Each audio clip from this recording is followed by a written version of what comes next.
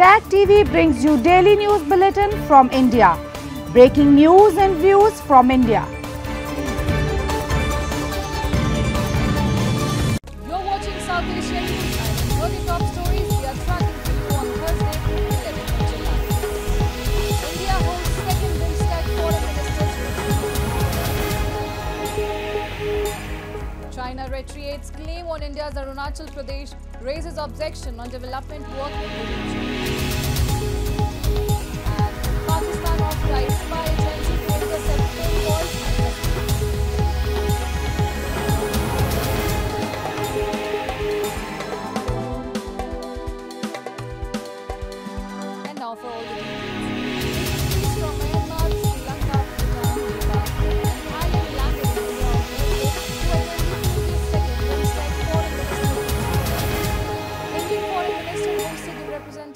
national capital New Delhi and said that the discussions with his counterparts will be helpful in infusing new energies, resources, and commitment towards BIMSTEC cooperation.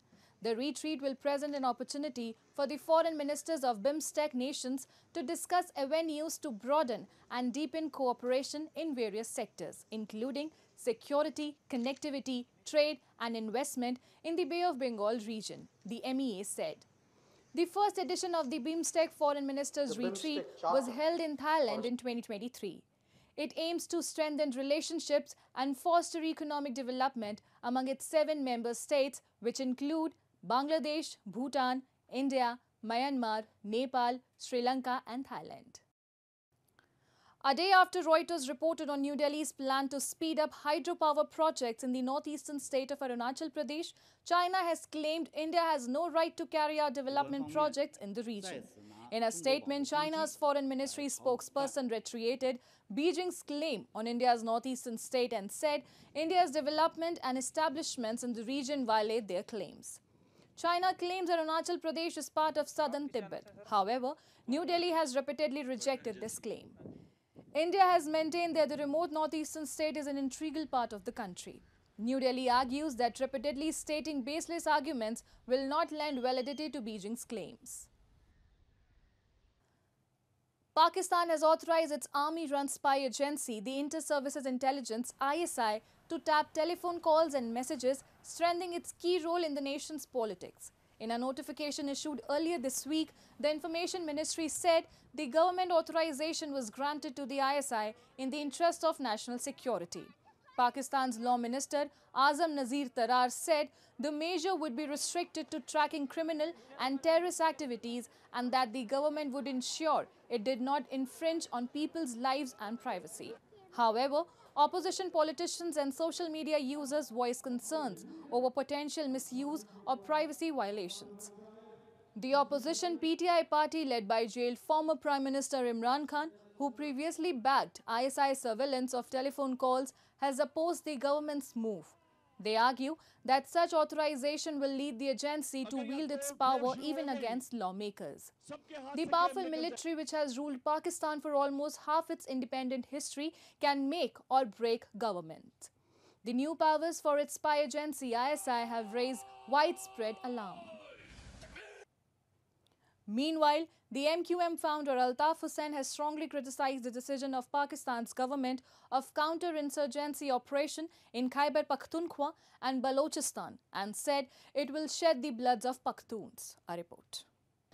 The MQM chief Altaf Hussain on Wednesday condemned the Pakistan government decision of counter-insurgency operation named Azm-e-Istehkam in Khyber Pakhtunkhwa and Balochistan province. Hussain, in a video message, has demanded the Pakistan government and army to not shed the bloods of Pashtuns under the guise of operations against the Taliban. He asserted that such operations are often directed against democratic parties opposing military rule. He accused the Pakistani military and intelligence services of creating the Taliban. Khurara, ka khun aur mat bahar. Operation की आड़ में। तालिबान किसने बनाए थे? फौजियों तुमने बनाए थे? आज उन्हीं का नाम लेकर तुम फिर खैबर पख्तूनख्वा के आवाम को आग और खून में नहलाना चाहते हो। हम तुम्हें ऐसा नहीं करने देंगे। Hussain demanded an immediate halt to military operations in Khyber Pakhtunkhwa and Balochistan, threatening a united struggle by oppressed groups to save Pakistan. He called for unity among all oppressed groups in Pakistan to resist this operation. Pakhtunkhwa में operation नहीं करना नहीं करना बलूचिस्तान में जारी operation बंद कर दो वरना बहुत जल्द फिर बहुत बड़े बड़े फैसले हम करेंगे और पाकिस्तान को बचाएँगे। फौजी जर्नल करप्ट, फौजी जजेस करप्ट, फौजी सरमायादार करप्ट करप्ट, पॉलिटिशियंस करप्ट सरमायादार, मुर्दाबाद।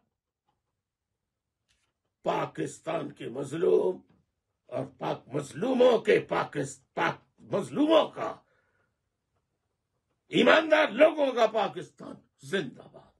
However, Prime Minister Shehbaz Sharif has maintained the operation is aimed at terrorists.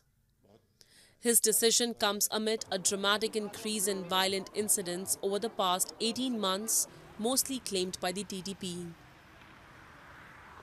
After a senior UN official request, Pakistan authorities on Wednesday announced that it will extend the registration cards of 1.5 billion Afghan refugees for one year.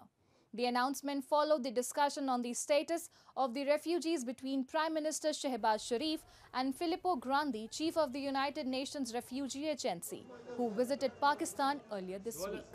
Sharif told Grandi that international community must recognize the burden being shouldered by Pakistan as it hosts a large refugee population and demonstrate collective responsibility.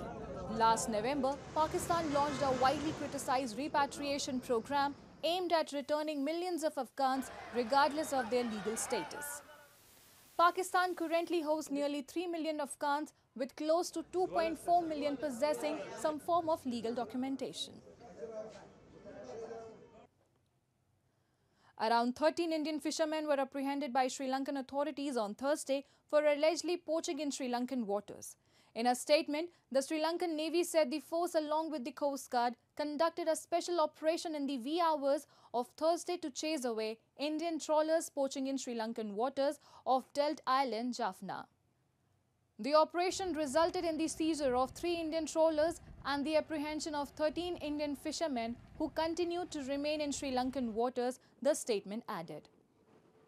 The seized trawlers, together with the Indian fishermen, were later handed over to the Myliddy Fisheries Inspector for onward legal proceedings. So far, the Sri Lankan authorities have seized a total of 35 Indian trawlers and 252 Indian fishermen. India and Sri Lanka share an expensive oceanic border without a clearly defined demarcation. Fishermen from both the countries frequently stray into each other's territory while netting their catch and end up spending years in jail. Bangladesh Supreme Court temporarily suspended the reinstated quotas for coveted government jobs on Wednesday after nationwide protests by students against the reservation system. According to a report by news agency UNB, a five justice bench led by Chief Justice Obaidul Hassan ordered a four week status quo on the quotas and urged protesting students to return to their classes. However, the protesting students have said they will continue their protest until a permanent government executive order is issued abolishing the reservation system. The quota system in Bangladesh reserves more than half of government jobs for certain sections, with around 13% reserved for the families of 1971 freedom fighters. The reservation for first and second class jobs was abolished by the government following similar protests by students in 2018. However, earlier last month, the High Court in Bangladesh ruled against the 2018 government order reinstating the quotas in government jobs. That's all in tonight's edition. We will see you same time tomorrow. Good night.